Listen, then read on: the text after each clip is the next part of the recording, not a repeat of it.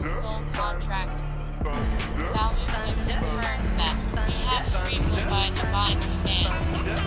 Dear ones, God has given you free will and therefore allows whatever you choose to experience a free will is a gift from the Creator that is sacred and covered by the law of attraction. Human beings sometimes blame others or God for their experiences, but in truth they are attracted to them thoughts and actions. How else? Free operator. 9. Our life plan represents choices we already made prior to incarnating.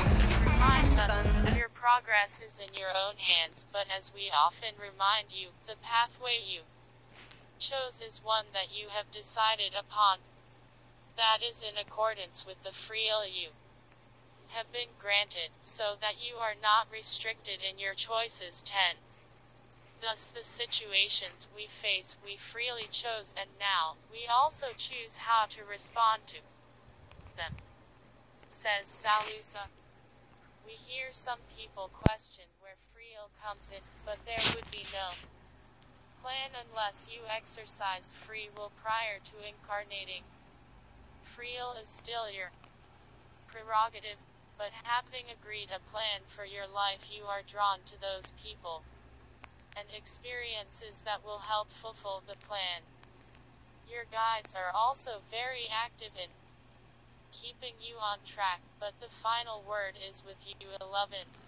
Having chosen our life plan prior to birth, we are now subject to that choice, because we have no recollection of having chosen our life plan, we have no experience of free.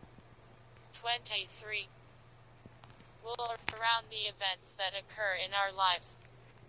But Salusa tells us that indeed we did choose these events. Sometimes the free will of another takes precedence over our free will. For instance, Matthew